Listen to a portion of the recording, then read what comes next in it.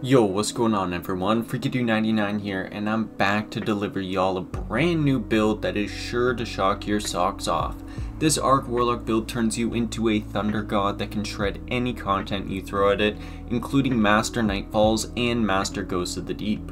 With our Arc Buddy by our side, there's nothing we can't take down, and I've been taking it into Grandmasters Day 1, and it's proved pretty damn useful.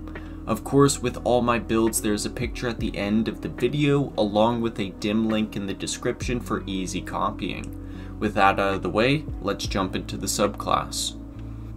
Starting off with the subclass, I take Chaos Reach for my super for the ability to laser down champions that get stunned, and on bosses when it's ready.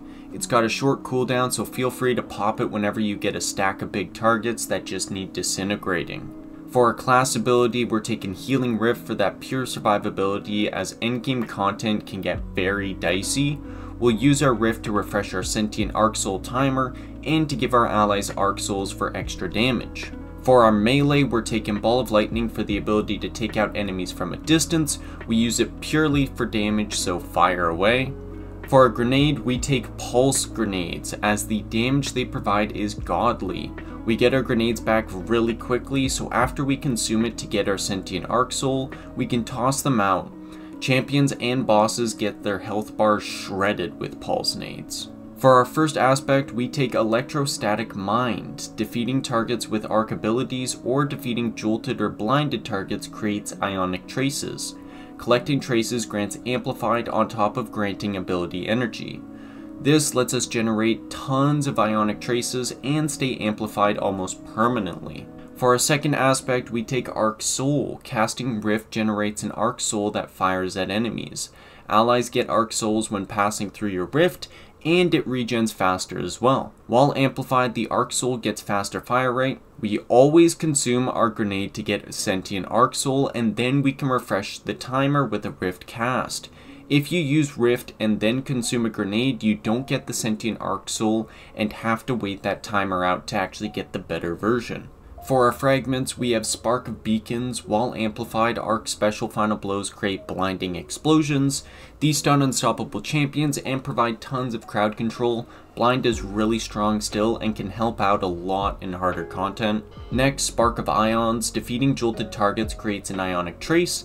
This stacks with Electrostatic Mind, although they have separate cooldowns. But in essence, it's double the ionic trace spawns.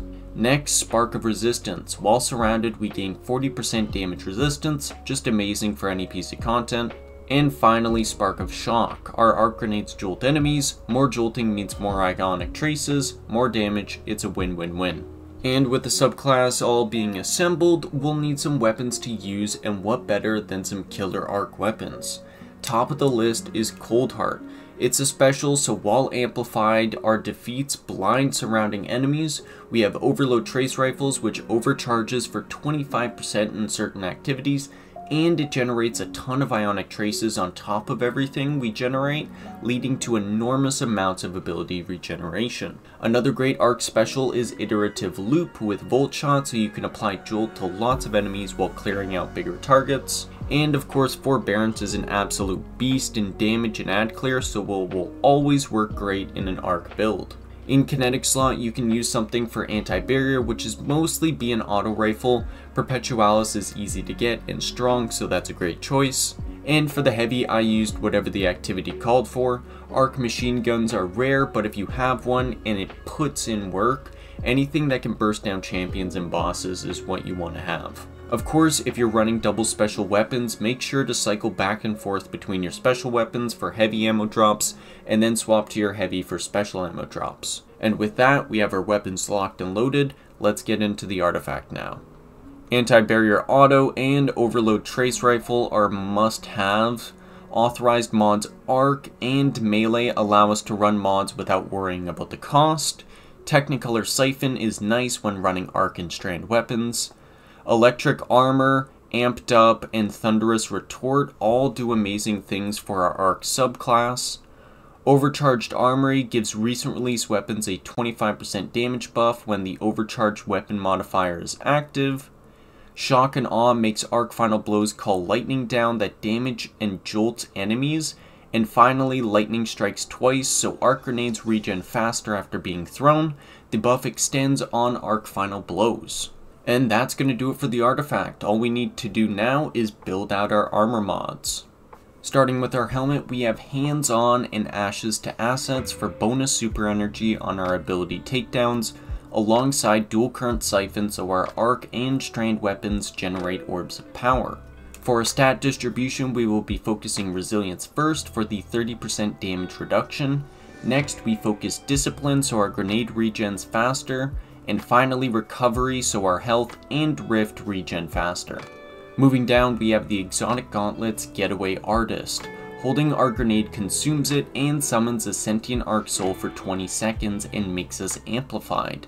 This buddy grants 5% grenade energy once per burst if it damages an enemy and can be refreshed by using our rift. Always consume your grenade to spawn your arc buddy as your rift doesn't make the better arc buddy. Only refresh your sentient arc soul with a rift when the timer gets low, but once you do you can throw your grenades as normal.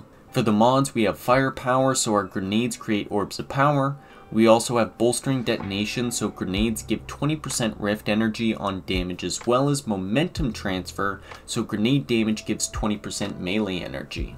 Down to the chest piece, of course we use two resistant mods for the current threat modifier alongside a third resist of your choice. The two resists give 25% damage resist and then the third one does a 15% damage resist. For our legs, I like to use one arc weapon surge for the 10% bonus arc weapon damage, alongside an arc holster so our Coldheart can auto reload while stowed, then of course a recuperation for health on orb of power pickup. And finally down to the bond, we have Bomber and Outreach, so on Rift Cast we get 20% grenade and melee energy alongside Powerful Attraction, so we collect nearby orbs of power on Rift Cast, which then give us that burst of healing from recuperation. And with that, the mods are complete and the build is built. To use it effectively, you gotta make sure to do these things. Always consume your grenade to spawn Sentient Arc Soul. Once it's activated, keep it refreshed by using your Rift cast whenever you see the timer get low.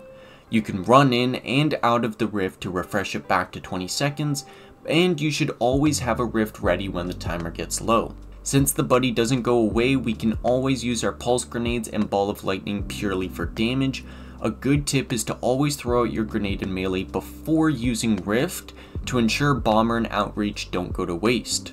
Coldheart is king in generating ionic traces, allowing for some serious ability spam and super regeneration. Make sure to keep amplified up and use your healing rifts in harder content as well.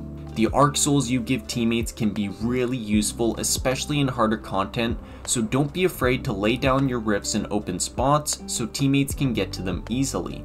The damage resist we have stacked up means we can play more loosely as well as just have more fun with this build. It's an absolute joy to use this build and it's probably one of the best builds to be using this season with all the artifact perks available. Of course, here's a picture of the full build for easy reference and the dim link is down below. Thank you all so much for watching, I have been FreakyDude99, and I'll see y'all in the next video. Peace out everyone.